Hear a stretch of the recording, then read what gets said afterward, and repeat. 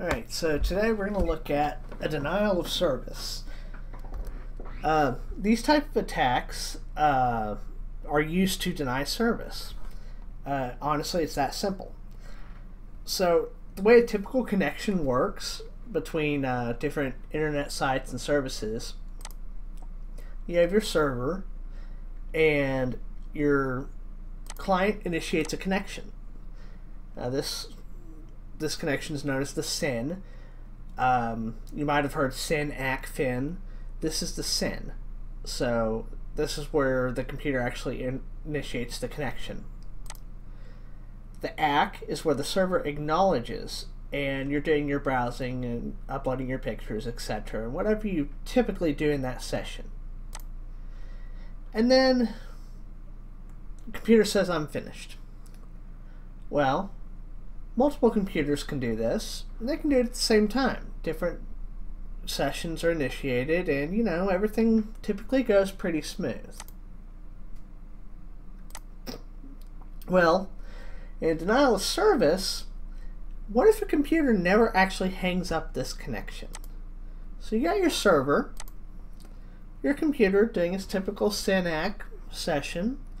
Uh, it continuously connects, does its typical thing, you know. Think media sharing. So you're on Netflix. You're connecting up to the Netflix server. It's continuously sharing down video. The computer says, hey, I'm still here. Keep playing my movie. I want to keep watching. Well, what if you have another computer doing that? And it does it repeatedly. And it keeps doing it. So this computer is basically denying service. Well, a denial of service doesn't do much. I mean, you've got two computers talking to the same server. This happens all the time. Heck, most uh, most servers have, on average, hundred to a thousand things talking to them at once. So that doesn't do much. Well, what if you were to distribute this? So you don't just have one server you have hundreds, you have thousands, and all of these servers are initiating the connection. The server is acknowledging the connection to keep it open, but they're never doing the fin. They're never hanging up the phone. They're keeping this call open. Well, one connection the server can support. A hundred connections the server can support. It might start to slow down a little bit.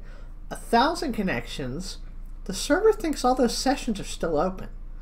And it's going to keep thinking they're still open until they either time out or the computers hang up the phone. So, what happens to your server? That. Your server dies. Um, this is how we typically view denial of services today. This is called the distributed denial of service because as you can see, it's distributed along all these computers. It's not just one doing it, it's several. Uh, you can see this automated through botnets all the time. Um, in fact, there are uh, tools that Anonymous and some other organizations have organized where you don't even have to be skillful about this. You just install the application, click a button, and your computer does the denial of service. Well, they coordinate this Thousands of people do this at once, and you can take down entire websites. So how do you stop this? Um, honestly, you can't.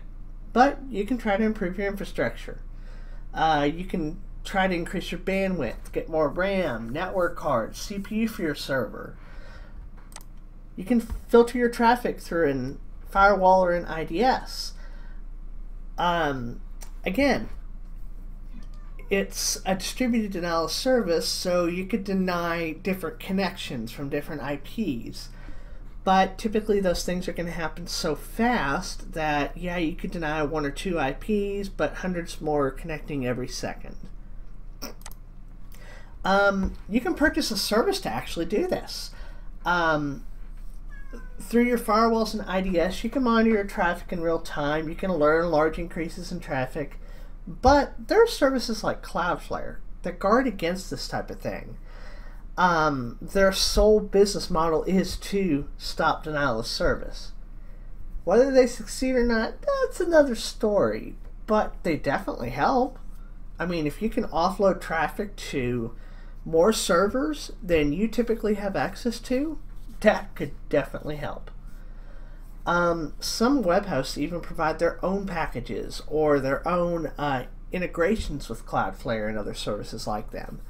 Um, I think there are even some Azure and AWS services that actually integrate pretty well with Cloudflare, and I wouldn't be surprised if there are Microsoft or AWS, uh, Azure or AWS, uh, which has their own typical services like that to guard against denial of service on their side.